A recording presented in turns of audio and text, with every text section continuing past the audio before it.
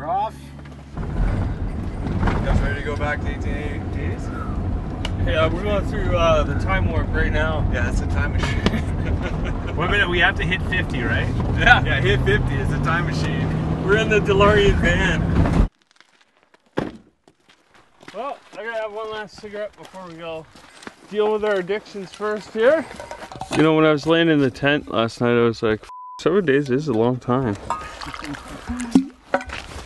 Especially with that guy. I don't know if I'm ready or not, but we'll find out. Might as well have one last smoke. Oh, no. I'm just taking. Uh, we're just pulling out our stuff. Oh, I stink already, and it hasn't even been a week. Oh, I usually don't even get bo, and I reek. Uh, we're just pulling out our stuff, and then we're gonna walk into the wilderness. Two men, one blanket. That's Cliff's line.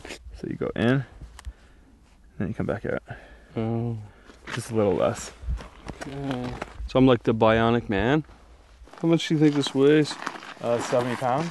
Hey, guys, yeah. Have fun, guys. What's up, brother? Don't die. Let's go make a TV show.